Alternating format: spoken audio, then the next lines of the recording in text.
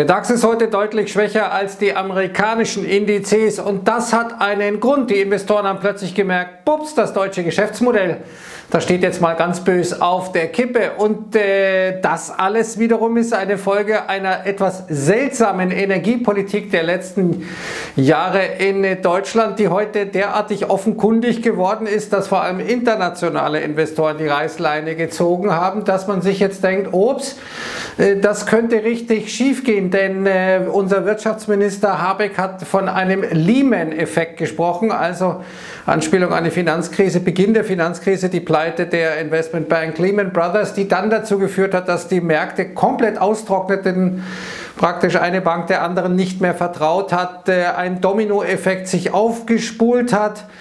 Und ja, letztendlich ist das eine Folge der deutschen Energiewende, die unsere Kanzlerin oder unsere ehemalige Kanzlerin Merkel beschlossen hatte. Eine Naturwissenschaftlerin, eine Physikerin, die dann erklärte, wir müssten aus der Atomenergie aussteigen nach dem Unfall in Fukushima, weil wenn es den Russen passiert, in Tschernobyl okay, aber wenn es den Japanern passiert, in Fukushima, dann müssen wir auch aus dieser Technologie raus. Habe ich damals nicht verstanden, verstehe ich heute nicht. Hat Kauder ihre rechte Hand äh, kürzlich nochmal wiederholt. Ein völlig irrationales Argument zu sagen, ja, die Technik ist an sich gut, aber wenn schon die Japaner sie nicht äh, beherrschen, äh, dann müssen wir raus. Dagegen, wenn es den Russen passiert, dann ist das halt so, weil die Russen haben es halt nicht drauf. Das fand ich damals schon sehr, sehr merkwürdig. Hat mich gewundert, dass die Leute hier nicht äh, gesagt haben, das ist etwas seltsam als Begründung für diese Energiewende. Und diese Energiewende ging dann einher mit immer stärkerer Abhängigkeit auch von russischem Öl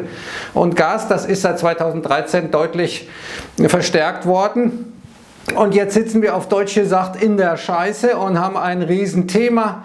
Und dieses Thema wollen wir uns jetzt mal anschauen. Der Handelstag für den DAX begann schon ein bisschen unglücklich, nachdem die Einkaufsmanager-Indizes aus äh, Deutschland und kurz zuvor Frankreich gekommen waren, viel schlechter als erwartet. Das geht schon in Richtung 50 bei diesen Einkaufsmanager-Indizes und alles unter 50 ist dann Schrumpfung ist äh, also dann eine Kontraktion der Wirtschaft. Das war überraschend. Sofort fielen die Anleiherenditen wieder nach unten, weil den Märkten klar wurde, okay, da ist eine Rezession offenkundig nicht mehr weit und es ist diese Kombination aus hohen Preisen und einem veränderten Zinsumfeld, das jetzt viele Firmen, viele Marktteilnehmer so derartig unter Druck bringt, dass man weniger investiert, dass man vorsichtiger wird, dass man keine Leute mehr einstellt etc. Das ist jetzt der Prozess, der beginnt aus dieser Kombination eben wie gesagt zwischen restriktiverer Geldpolitik und dem massiven Kostendruck, den die Unternehmen haben. Also das war der erste Schlag ins Kontor und ich hatte es äh, schon vorhin gesagt,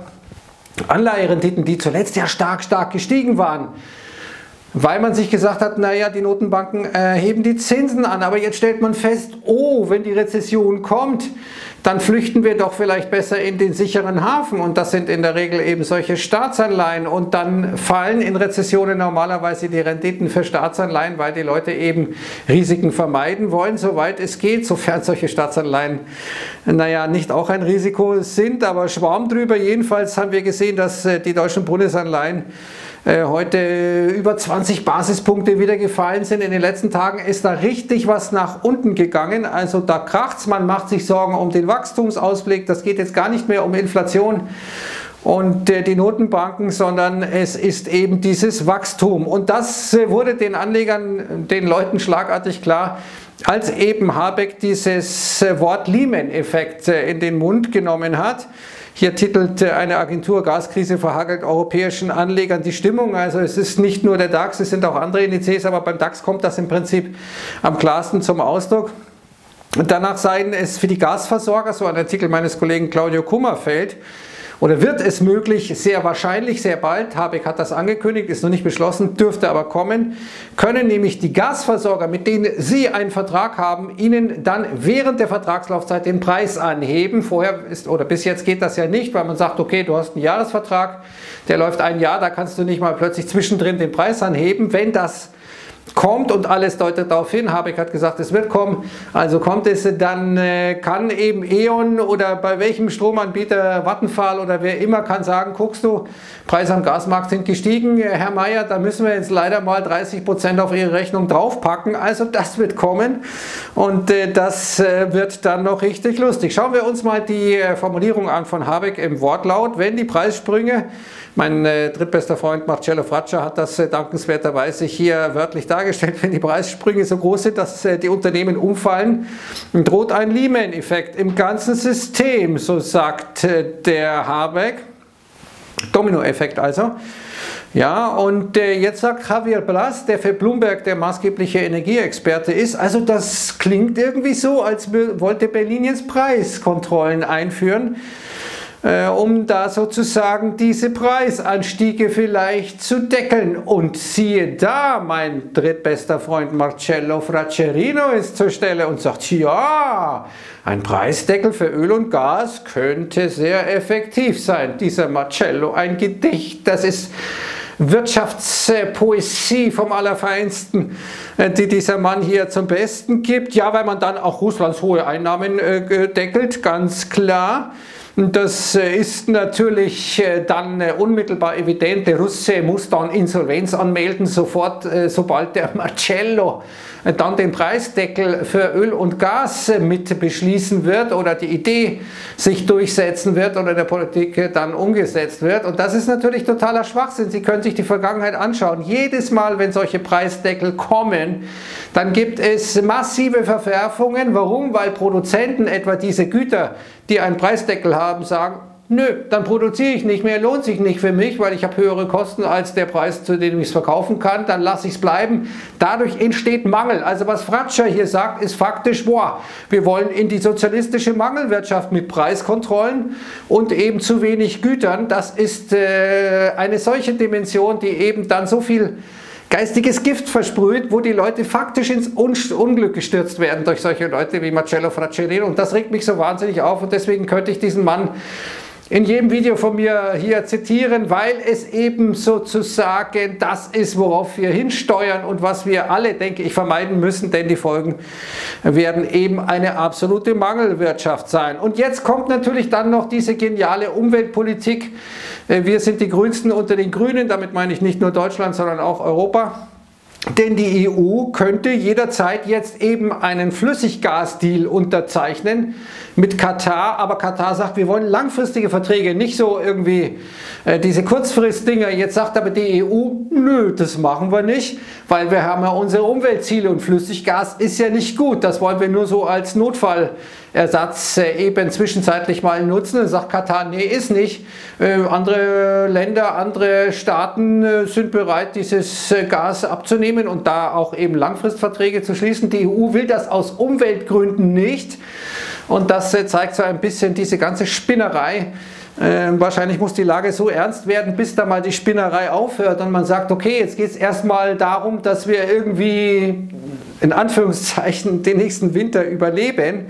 Und vielleicht bringt es dieses Bild hier ganz gut auf den Punkt, da lädt jemand sein E-Bike faktisch an einem äh, extrem umweltschädlichen Kohlekraftwerk auf. Das könnte man vielleicht auch den äh, E-Auto-Nutzern äh, oder ein solches Bild könnte man auch für E-Auto-Nutzer zeigen, also für Elektrofahrzeuge, wo jemand dann vielleicht seinen Tesla praktisch direkt am Kohlestrom äh, auflädt oder am Kohlekraftwerk auflädt. Das bringt diese ganze Idiotie eigentlich genau auf den Punkt und kann man Habeck das vorwerfen, dass er sagt, wir fahren jetzt die Kohle rauf? Nein, kann man ihm nicht. Es ist äh, schlichtweg eben eine Folge vorhergehender Fehlentscheidungen, die allerdings natürlich durch eine grüne Politik auch nicht wesentlich, nicht unwesentlich äh, auch in diese Richtung getrieben wurde. Es ist sogar, finde ich, anständig, dass er sagt, okay, das ist ein Tabubruch, äh, das ist äh, wirklich äh, miserabel, aber ich muss es machen, weil eben Energiesicherheit oder die Versorgungssicherheit hier im Vordergrund steht, sonst kommen wir nicht über den Winter. Immerhin ein gewisser Pragmatismus, aber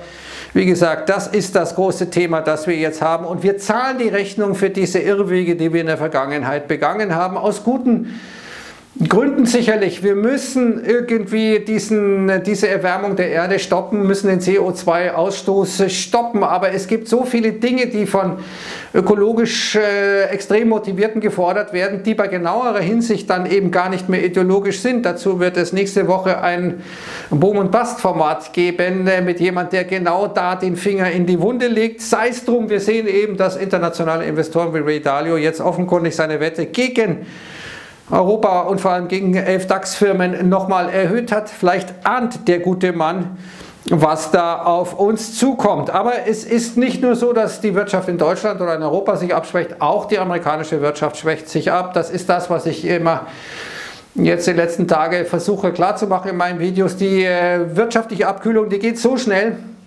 dass die Fed mal wieder total hinter der Kurve ist mit ihrer Einschätzung eben dieser Wirtschaft. Vorher hat sie die Inflation falsch eingeschätzt, jetzt schätzt sie die Wirtschaft falsch ein. Das haben heute die amerikanischen Einkaufsmanager-Indizes ge äh, gezeigt. Das war der ähm, zweitgrößte Fall zum Vormonat seit zehn Jahren. Nur der April 2020, also Corona-Krise, Corona-Crash, war noch schlimmer.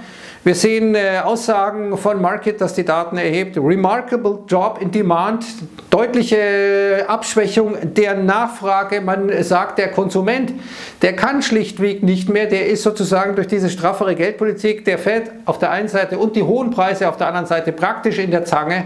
Dementsprechend geht die Nachfrage deutlich zurück. Wir sehen äh, erste Kontraktion von Neuaufträgen in diesem Index seit Juli 2020. Auch die Exportorders zurück. Die Inflation Inflation wird jetzt, der Inflationsdruck wird immer geringer, weil eben die Nachfrage auch geringer wird. Auch Arbeitsmarkt Lowest Employment Gains seit Februar und Business Confidence Lowest sind September 2020.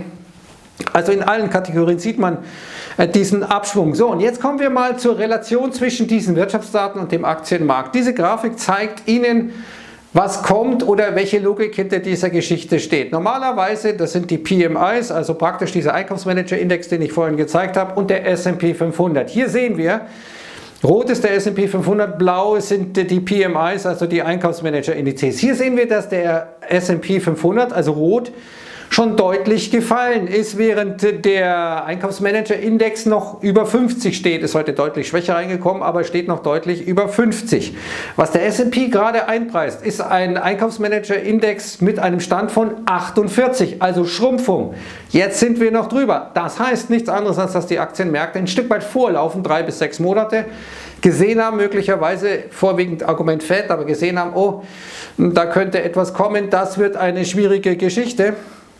Dementsprechend ist jetzt die Frage, wie tief geht es? Und äh, letztendlich wird es davon abhängen, wie tief die Einkaufsmanager-Indizes damit praktisch die Wirtschaft fallen. Umso tiefer wird auch der S&P 500 fallen, wenn letztendlich äh, die Rezession, die da kommt, gar nicht so schlimm ist. Also wir bei 48 Halt machen und nicht weiter runtergehen, um es jetzt mal auf die Nummern hier runterzubrechen, dann wäre alles eingepreist und möglicherweise kommt es auch gar nicht so schlimm und dann wären wir sogar schon viel zu weit gelaufen. Das ist jetzt das Szenario, das äh, zu beachten ist. Wir sehen übrigens heute auch in den Erstanträgen auf Arbeitslosenhilfe, dass vor allem der Vier-Wochen-Durchschnitt hier deutlich jetzt äh, nach oben geht und wir sehen, dass möglicherweise eben jetzt die, zumindest die Gewinnerwartungen des Marktes Marktes sind noch viel zu hoch.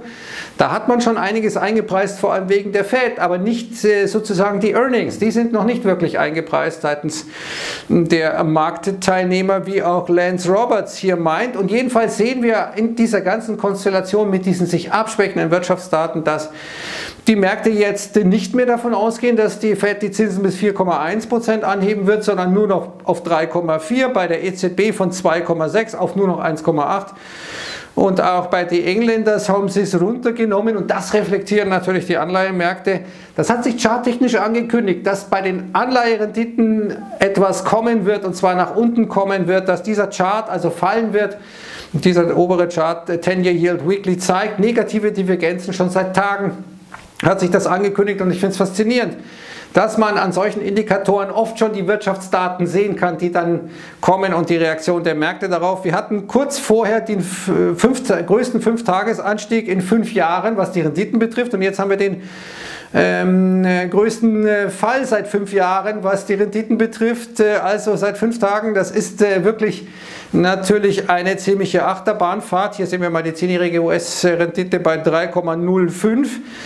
Und äh, hier sehen wir einen Trendkanal, der jetzt nach unten gebrochen wird. Und Sven Henrik sagt richtig, ohne eine politische Lösung des Ukraine-Russland-Kriegs äh, wird, äh, wir, werden wir eine höllische Stagflation haben und die Fed wird überhaupt keine Chance haben, die Zinsen auf 3,8% anzuheben. Und das ist der Chart, der anzeigt, dass die Fed eben keine Chance hat, das zu tun, weil dieser Chart hochgradig gefährdet ist aufgrund der Rezession. Und insgesamt ist jetzt eine seltsame Verkehrung der Lage der Fall. Wir erinnern uns, früher war es ja so, man versuchte möglichst, äh, oder die Länder versuchten möglichst, die Währungsräume ihre Währung schwach zu halten, um besser konkurrieren zu können. Jetzt versucht man, die Währung eher stark zu halten oder nicht zu schwach werden zu lassen, weil man sich sonst die Inflation ins Haus holt, weil man ja auf dem Weltmarkt in Dollar auf Rohstoffe etc. einkaufen muss. Interessante Wandlung. Kommen wir jetzt nochmal kurz zu den Märkten. Wir haben es das erste Mal äh, seit 2020 wieder die Situation, dass wir mehr Puts als Longs haben. Also man ist abgesichert auf der Unterseite, eine Chance für die Bullen vielleicht, aber es kommt eben darauf an, wie scharf der Wirtschaftsabschwung werden wird. Und hier sehen wir mal die Stimmung der Privatinvestoren. 18% sind nur noch bullisch, 59% sind bärisch. Äh, das ist der geringste Wert an Bullen seit äh, der Finanzkrise, also seit dem Jahr 2008. Alles Extremwerte, da ist natürlich jederzeit auch mal nach oben eine Bärenmarkt-Rallye drin, aber wie gesagt, die Märkte werden jetzt oder sind so in dieser schwierigen Position, ja, ja, die Fed kann die Zinsen nicht so stark anheben, aber was hilft uns das, wenn die Unternehmensgewinne stark zurückgehen, weil die Wirtschaft absäuft? Das ist jetzt so diese schwierige Gemengelage, mit der die Märkte zu tun haben. Dürfte volatil sein, dürfte keine wirklich klare Richtung äh, bekommen, denn eines ist positiv, nämlich die Fed wird wahrscheinlich die Zinsen gar nicht so stark anheben können, wie sie immer gesagt hat. Auf der anderen Seite, wenn die Unternehmensgewinne schrumpfen, hat man auch nichts gewonnen. Zwei abschließende Empfehlungen, meine Damen und Herren. Alarmstufe Gas, was Industrie und Analysten dazu sagen. Mal Einschätzung, was bedeutet das auch für uns? Und dann nochmal äh, weitergehende Informationen zu dem, was Habeck gesagt hat und was das für uns alle bedeutet. Diese beiden Artikel unter dem Video mit der Bitte nochmal verbunden, wie am Ende inzwischen jedes Videos. Teilen Sie dieses Video, teilen Sie meine Artikel oder teilen Sie die Artikel von Finanzmarktwelt. Schauen Sie auf die Seite, ich glaube, wir sind ganz gut. Oder also, 40 Servus, schönen Abend. Ich gehe heute an die Elbe, trinke bayerisches Bier und schaue, ob die Schifffahrt wieder sich erholt. Ja, mache ich nur für Sie, gell? Also, Servus, ciao.